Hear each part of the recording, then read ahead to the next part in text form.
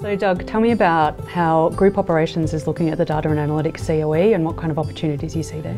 We have tons of information in our plants. Um, more importantly, we have hundreds and thousands of sensors that provide real-time information into our computer systems. The challenge is, historically, is for people to go through and interrogate that. And so what excites me is the opportunity to potentially use artificial intelligence to help us do it faster. I think the challenge will be you know, where shouldn't we use it? It's limitless, the things we can do.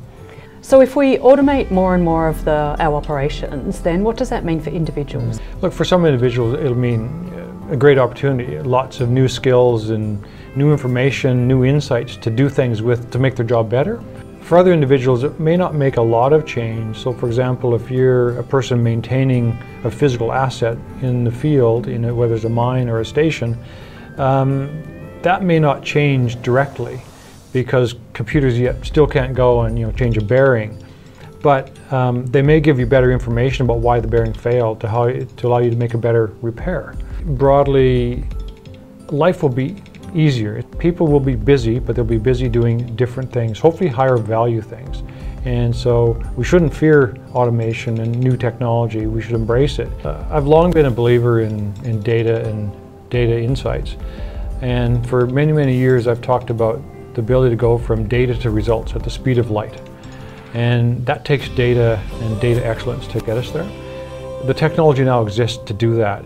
So when I think about the static yaw uh, project, that's really taking the wind turbines and adjusting them very small amounts to harness the wind.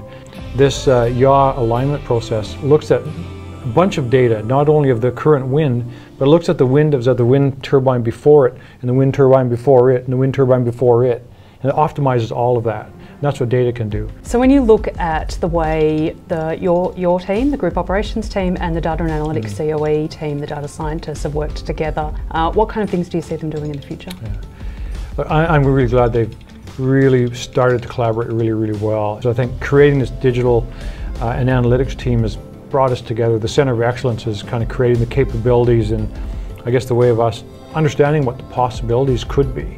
And I think that's the opportunity for us is continue to work together, explore the possibilities together. And, and what kind mm. of things do you see in the energy industry that could make use of this capability? Oh, well, um, where not? I think of yeah. batteries, virtual power plants, uh, orchestrating all of our assets together.